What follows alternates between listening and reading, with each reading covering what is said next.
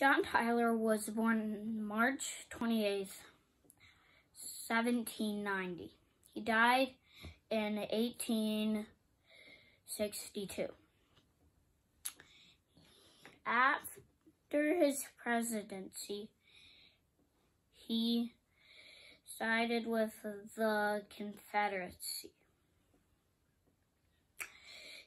And the Confederacy wanted to be individual countries.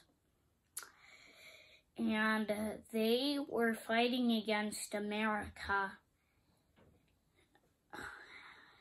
in 1861, the start of the Civil War. And that's one minute. See you tomorrow.